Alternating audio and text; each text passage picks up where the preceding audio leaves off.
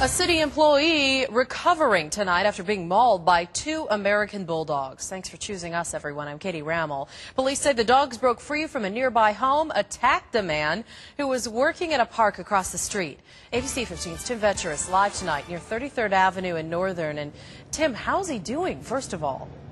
Katie, we're told he just got out of surgery at nearby John C. Lincoln Hospital, where he is listed tonight in serious condition. But given what happened here behind me at this park this morning, police say he's extremely fortunate to have simply survived.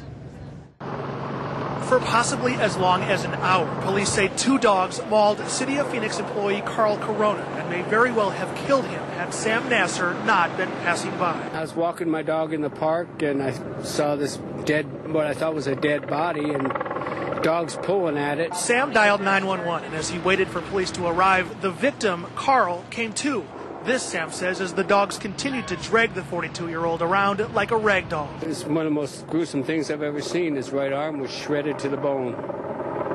Absolutely shredded to the bone. Two police officers shot and killed the dogs, both American bulldogs. The male investigators say likely weighed upwards of 80 pounds. It's a horrible uh, situation. Uh, dogs uh, can be extremely vicious. Uh, and as you can see, these are large American bulldogs. Police determined the dogs had come from the backyard of this house. Investigators believe they forced open a gate and set their sights on Carl, working unsuspecting across the street. They would have killed him. I mean, he was he was, you know, within half an hour of being dead anyway. Um, it was it's just just a gruesome scene, very gruesome scene. Now, we purposely did not show you the pictures of the dogs that were shot this morning by Phoenix police, again described as American Bulldogs, 60 to possibly 80 pounds. But for anyone who would choose to view those pictures, we've posted some on our website. Just go to abc15.com.